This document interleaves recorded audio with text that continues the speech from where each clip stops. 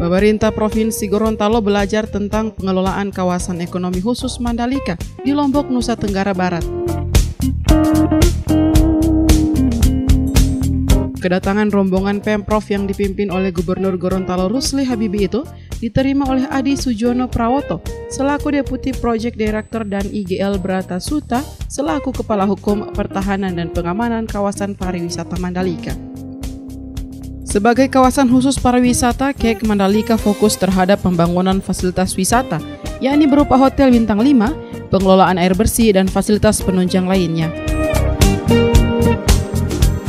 Sementara itu, Gubernur Gorontalo Rusli Habibi ingin menjadikan Kek Mandalika sebagai kiblat pengembangan Kek Gorontalo Paguyaman Kuandang yang sedang ia rintis. Menurutnya ada kemiripan antara Gorontalo dan NTB, khususnya dalam hal pengembangan wisata laut. Pengusulan tentang kek Gopandang menurut Rusli sudah dilakukan sejak dua tahun terakhir.